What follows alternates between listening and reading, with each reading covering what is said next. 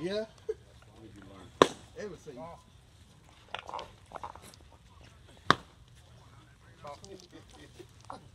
They have to new one for this year?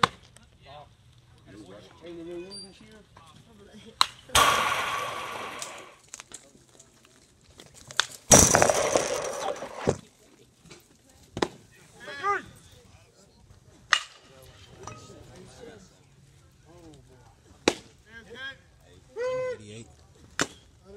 Eighty-seven.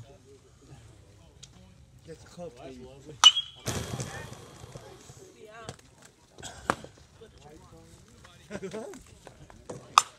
Great pants. Thirty-eight. There